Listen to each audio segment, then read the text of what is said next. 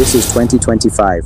You don't want to miss out on learning how to create videos like this. Hi everyone, welcome to my channel. I'm I Mr. Doobig, and in this tutorial I'm going to show you exactly how I created my narration video for my book War of the Landlords using AI tools. In the deep shadows of a dying forest, under the pale gaze of a full moon, the animals had gathered not for celebration, but for revolution. The tools I used are ChatGPT for scripting, Hedra for generating lifelike narration and avatars, and Filmora for editing everything together.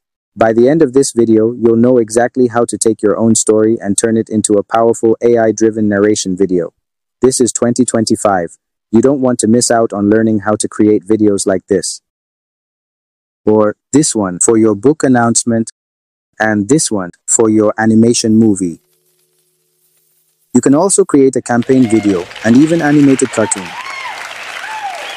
You can also create a campaign video and even animated cartoon or for business adverts and announcements. We are currently giving out 30% discount for all our customers who book for all our services this month. Don't miss it. As a business owner, you can create adverts like this and get more customers. Every day, Nigerians wake up to hardship, not because Nigeria is poor, because many leaders are dishonest.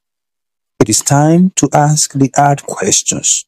We are in a country where the masses stand on dry land of poverty, yet politicians are busy watering their own patches of grain, fertilizing only their privileges. The governors shine on billboards, but the people groan in the shadows. Yet we forget something. These people are not gods. They are employees of the people. They collect monthly allocations on our behalf and they owe us answers.